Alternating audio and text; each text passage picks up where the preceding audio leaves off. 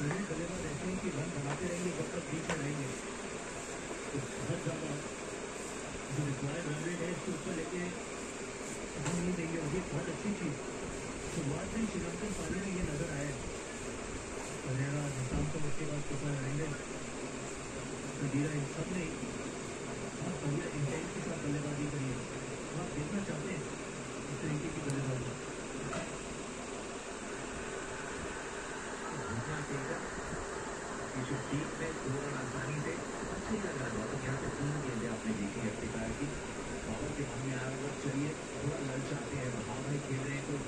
लगाए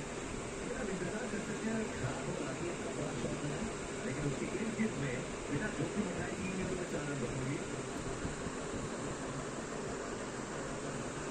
अपने प्रमुख गेंदबाजों को वापस लेके आना पड़ेगा। ये साझेदारी अगर चालीस पचास में बनाती है तो मेरा मानना है कि बहुत मुश्किल हो जाएगा पाकिस्तान के लिए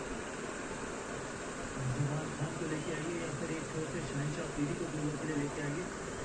पाकिस्तान यहाँ से कभी मैच जीत सकती है जतिन अगर ये अगले आठ विकेट चमकाएँगे। क्योंकि अगर पूरे ओवर से यहाँ तक मिल जाती है तो रिक्वायर्ड हंड्रेड में कोई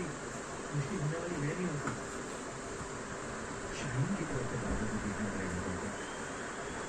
शायद हो जाए क्या आज जिस तरीके से खेल चला है। बाबर आज़म